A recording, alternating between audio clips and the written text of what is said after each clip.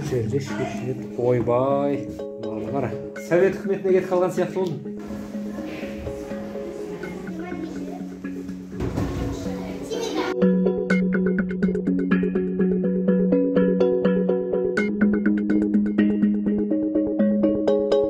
Шаңырақ мектебінде бізде 580 бала оқиды дайын кадрлар тұр солардың бәрін алып бар да жаңа мектепке қою бұл немене мүмкіндік емес пе бұл өте қиын нәрсе ме бұл мұғалім шаңырақтың мұғалімдарының жағдайын ойласаң жылағың келеді.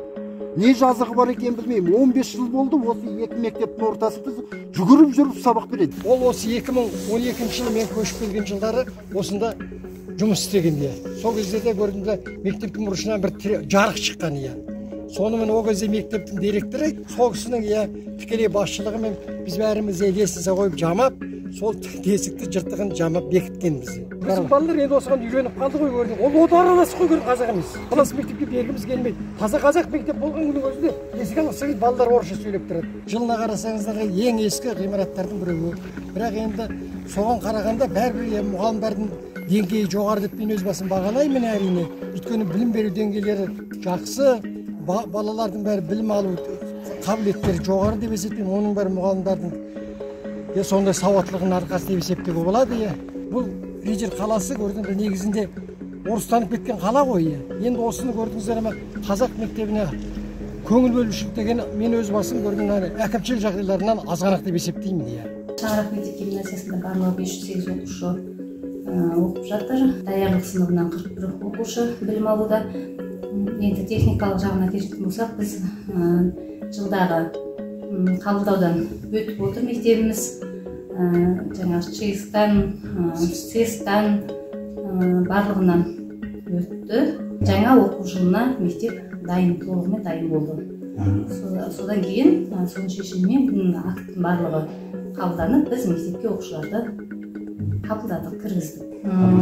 Апатты жағдайда болған жағдайда онда мектептің ашылуына рұқсат берілмес еді деп ойлаймын. Сондай ескі болғанымен бірақ қыс кезінде жылы қажетті температураны ұстап отырмыз школа Шанарак выделено уже 60 миллионов. Это было выделено э, из-за еще ранее, не потому что возникла эта история. да да да Эти деньги уже посажены на баланс школы, то есть будут э, ремонты, за- как говорится, идти все по, по порядку, по графику. Что касается вот аварийности здания, здание не в аварийном состоянии. В здании в аварийном состоянии это спортзал, который находится как пристройка. малый спортзал Да, то есть он не, никак не влияет на учебный процесс. Два здания это типовые здания школы. Мгм. Когда открыли ком- ко- комфортную школу, точнее новую, вот 11 школу, это школа смешанная.